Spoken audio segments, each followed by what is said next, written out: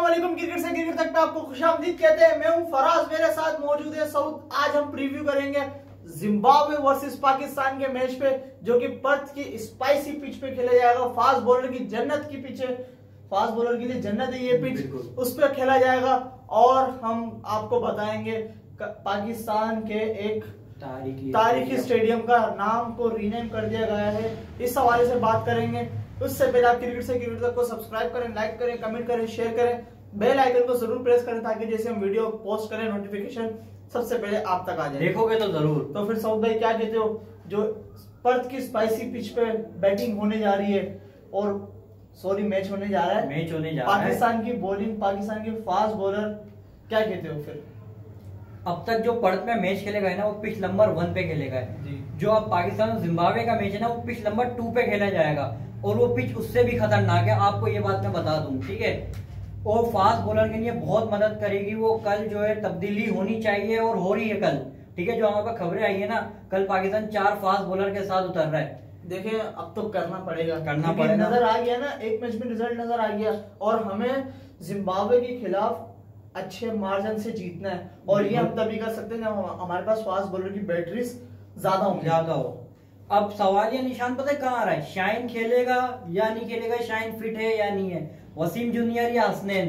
तो आपको बताते चले कि शाइन शाह कल खेल ले ठीक है? अगर शाइन शाह को एक बात है रिदम नहीं है। लोग कह रहे हैं कि आवाम हमारी कह रही है कि वो फिट नहीं है। अच्छा फिट नहीं है तो एक बात बताओ, हम इन छोटे मैचों में उनको बिठा देते हैं। तो अफ्रीका के खिलाफ आप खिलाओगे? नहीं, देखें, जो कयास आ रही है, चल रही है मीडिया में कि शाइन को रेस्ट देना चाहिए। अगर हम शाइन को रेस्ट दे देते हैं चले दे दिया रेस्ट हमने शाइन को कल। ठीक है? दे दिया।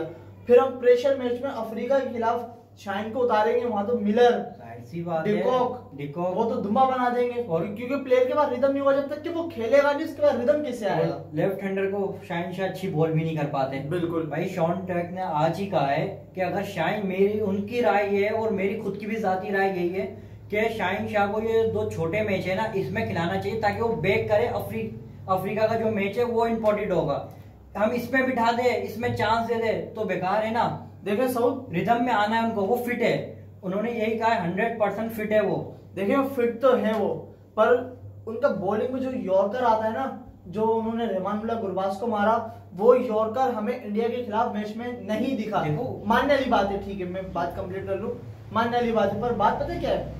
कि अगर आप प्लेयर को बाहर बिठा दोगे ना और फिर उसको एक प्रेशर मैच में लाके बोलोगे कि अब तुम विकेट लेके दो टेस्ट करके दो तो वो नहीं हो सकता जब तक कि बॉलर शाहिन शाह फरीदी के लिए ज़रूरी है कि उसको एक ऐसी ऑपोजिट मिले कि जिसके खिलाफ वो विकेट ले सके। जब तक कि वो विकेट नहीं लेगा उसका कॉन्फिडेंस बहाल नहीं, नहीं होगा। अब आपने कहा ना अफ़गानिस्तान के खिलाफ में वो रिदम में नज़र आए। तो आपको ये बता दूँ वो बिना है कोई प्रेशर गेम नहीं था। वो एक वार्म अप मैच था ठीक है? उसका कोई रिकॉर्ड वगैरह कहीं नहीं लिखा जाता। इंडिया के खिलाफ एक प्रेशर गेम था। पिचानवे हज़ार एक लाख आवाम बैठी हुई स्टेडियम में। वहाँ बॉल करना, वो वही करना चाह रहे थे जो फुल टॉस हो रही थी। ठीक है? इतने प्रेशर गेम में अगर हम ये दो मैच बिठा देते, ये दो मैच शाइन को बैक करेंगे। आपको बता दो रिदम में आएँगे। क्योंकि हमारा मेन मैच जो होगा ना साउथ अफ्रीका से मेन मैच सारे ही अब। लेकिन जो क्वार्टर फाइनल हम कह सकते हैं, अगर ये दो जीत जाता है पाकिस्तान तो क्वार्टर फाइनल होगा। उसमें शाइन का बॉलिंग में आना बहुत ज़रूरी है बैक करना बहुत ज़रूरी है। वो आप सही कह रहे हैं और शाइन को कल खेलना चाहिए। बेशक शाइन से जान ना लगवाए दो ओवर करवाए शुरू के तीन ओवर करवाए बाहर भेज दें फ़ील्ड से बाहर भेज दें दस बारह ओवर के बाद फील्डिंग उससे कम करवा लो। लाजमी नहीं कि उसे बीस ओवर फ़ील्ड ग्राउंड में उसको खपाए इधर बाउंड्री पे फील्डिंग करवाए। एक तो हमें समझ में नहीं आता कि हमारे फास्ट बॉलर अच्छी बात है हारिस रऊफ हारिस रऊफ हम्म। शाहीन शाह ठीक है वसीम जूनियर ये सारे ग्राउंड के एज पे बाउंड्री के एज पे फील्डिंग कर रहे होते हैं। होते हैं। और थ्रो भी इनके अच्छे पोर्शन मैंने देखा हुआ ना दूसरी टीमों के जो बैट्समैन होते हैं वो बाउंड्री के एज पे फील्डिंग करते हैं। बॉलर इर्द गिर्द स्लिप वगैरह पे फील्डिंग कर रहा होता है। अगर बॉलर को अगर आप बाउंड्री पे फ़ील्ड करवा रहे हो ना तो ज़्यादा चांसेस है ड्राइव डाइव मारते हुए बाउंड्री बचाने के लिए वो इंजर्ड हो जाए। क्योंकि हम्म। जब डाइव मारता है ना प्लेयर तो बॉडी उसके कंट्रोल में नहीं कंट्रोल में नहीं होती वो बस छलांग मार देता डाइव मार देता तो खुदा ना खास्ता फ्रैक्चर वगैरह भी हो सकता है और फास्ट बॉलर को इंजरी बहुत जल्दी पकड़ती है। तो शाइन को खिलाए दो या तीन ओवर पहले स्पेल में करवा के हम्म। उसको ग्राउंड से बाहर भेजे। और अगर फील्डिंग करवा भी रहे तो कहीं छुपा दे उसे। फ़िल्टर बहुत अच्छा है नो डाउट नहीं, filter अच्छे अभी फ़िलहाल जो वक्त की वक्त बात ऐसा है। वक्त का वक्त को धक्का देने वाली बात ऐसी है कि उसको सेव करो। मोहम्मद हसनैन को अभी हम बड़े मैच में अफोर्ड नहीं कर सकते। आप छोटे मैच में तो कर लोगे क्योंकि चांस क्यों दे रहे अभी उनका बनता ही है ना। हमने एक ऑलराउंडर खिलाना है। वसीम जूनियर बेस्ट चॉइस है। आपको बताते चले आसिफ अली खेल ले कल। हैदर अली बाहर हो क्योंकि ऐसा सुनने में आया खबर अभी कल ही पता लगेगी प्लेइंग इलेवन क्या है। लेकिन आसिफ अली जो है खेलेंगे कल और हैदर अली के ज़्यादा चांस है बाहर होने के वसीम जूनियर इन है। देखिए आसिफ अली के हाथ में मैं इसलिए भी कहूँगा कि आसिफ अली प्रूफ कर चुके हैं। कर चुके हैं। पिछले साल वर्ल्ड कप में अफ़गानिस्तान के खिलाफ न्यूजीलैंड के खिलाफ हमें उम्मीद होती है अगर पाँच चार ओवर में साठ रन चाहिए आसिफ अली होगा तो हमें उम्मीद होगी कि वो मार देगा। लेकिन मैं आपको एक दिली राय बताऊँ देखो आसिफ हमारे पास हिटर बहुत हो जाएँगे। आपके पास नवाज़ भी है शदाब खान भी है फिर वसीम जूनियर भी आ जाएगा। अब आसिफ अली का भी वही रोल है जो इन चारों का नहीं, नहीं, है सुनो तो। चले बोले बोले। ये चार चार हो जाएँगे तो फिर वही बात है कि आते के साथ ही मारना। इधर अली का ये है कि इधर अली से आप सिंगल डबल भी करवा सकते हो। ठीक है। शादाब और नवाज़ इनिंग्स को एंकर भी कर सकते हैं कर सकते हैं। बार किया है। किया है, ऐसी बात नहीं है। आसिफ अली बेशक ना रोक सके। शादाब सिंगल डबल भी बहुत अच्छे करते हैं। शादाब को अगर रोल दिया जाए ना कि इनिंग्स को एंकर करो तो वो एंकर भी कर सकता है। शादाब थ्री डायमेंशन का प्लेयर है भाई। हम्म, हम्म। उसका कोई मसला नहीं उसको टीम मैनेजमेंट हर जगह फिट कर लेगी। अगर मैं कहूँ हैदर और आसिफ में से तो मैं हैदर को कहूँगा कि हैदर को ड्रॉप करके वसीम को इन करें। चार फास्ट बॉलर ऐड करें। प्लेइंग इलेवन पाकिस्तान की बिल्कुल परफेक्ट Perfect है। है शान मसूद और आती है फखर जमान पे बात। अगर बेशक शान मसूद सत्तर अस्सी भी कर देते ना तो मैं फिर भी प्रेफर फखर फखर जमान को करूँगा क्योंकि आगे आने वाले मैचेस में ना हमारे लाजमी नहीं है। चल इंडिया के खिलाफ आउट होगा हमारे बैट्समैन पर हर मैच में हमारे ओपनर ऐसे आउट नहीं होंगे। हमारे ओपनर जब 10 ओवर खेलेंगे ना तो हमें फखर जमान जैसा बैट्समैन चाहिए होगा जो आते आउट ऑफ़ द बॉक्स जाके हिट करे। अब शान मसूद 10 ओवर के बाद सात आठ बॉले लें हम्म। चेक करने के लिए। तो वो तो फिर आपका टाइम गिर जाता है ना? फिर बचता ही क्या है? हाँ बॉलिंग हमारी बिल्कुल नहीं, बस फकर बेस्ट है के से। और दूसरी बात आज शाहिन शाह अफरीदी जो है नेट में भी नहीं आए। तो लोग समझ रहे कि वो कल के मैच में नहीं होंगे। तो बताते चले वो एकदम फिट है और कल का मैच आपको इनशाला खेलते हुए नज़र आएँगे।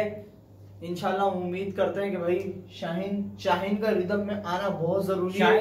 क्योंकि वो जो फ़र्स्ट ओवर में विकेट लेते हैं ना वही वो देखने का अलग अलग मज़ा और दूसरी टीम को बैक फुट पे डालते और शाइन रिदम में कैसे आएगा? जिम्बाब्वे और न्यूजीलैंड बिल्कुल जब ये जब- दो मैच होंगे जो रिदम में आएँगे फिर अफ्रीका के खिलाफ इंशाल्लाह हम उम्मीद करते हैं वो पहले ओवर में आपको विकेट लेते हुए नज़र आएँगे। बॉलर के लिए भाई मेन ज़रूरी होता है जब तक कि वो विकेट नहीं लेता उसका कॉन्फिडेंस बहाल नहीं, होता। और फिर हम आपको बताते चले पीसीबी ने हम्म स्पॉन्सर के चक्कर में पाकिस्तान के जो तारीखी स्टेडियम्स हैं उनके नाम तब्दील करना शुरू कर दिए कर सबसे पहला नंबर आया है कराची के नेशनल स्टेडियम स्टेडियम का का। जिसका नाम चेंज करके national bank national bank cricket arena रख दिया गया है है। जो कि अफसोसनाक खबर है क्योंकि जो ग्राउंड्स के नाम होते हैं ना ये हमारे लिए एक सिंबॉलिक सिंबॉलिक होते हैं ठीक है अब आप स्पॉन्सर्स के लिए अपने तारीखी मकाम के नाम चेंज कर दो। ऐसा तो नहीं हो सकता।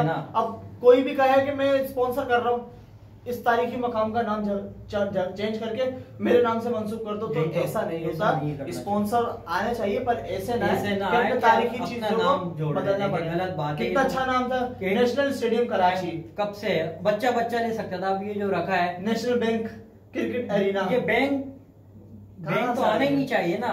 बहुत ही गलत डिसीज़न है। हम इसको कंडेम करते हैं स्पोर्ट्स में।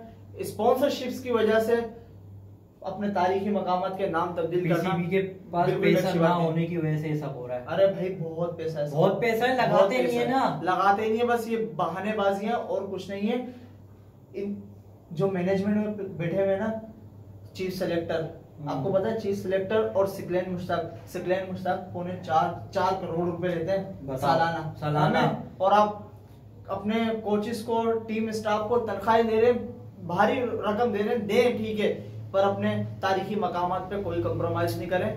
जो ये हुआ है नाम चेंज किया बहुत गलत है। ऐसा नहीं होना चाहिए था। दुख हुआ मुझे पर्सनली। क्योंकि हम कराची से हैं। हमें कुछ ज़्यादा ही बुरा मुझे तो अभी तक याद नहीं हो रहा ये नाम इतना जो बात है। है टाइम लगेगा ऐसी बचपन से है। सुनते आ रहे हैं national stadium Karachi. National stadium Karachi. Stadium road NSK हम शॉर्ट में बोलते हैं एनएसके अब आपको पता पता नहीं क्या बोलेंगे सोचना पड़ेगा क्या बोलना पड़ेगा। चले हम आपसे चाहते हैं इजाज़त। क्रिकेट से क्रिकेट तक को सब्सक्राइब करें लाइक करें कमेंट करें शेयर करें।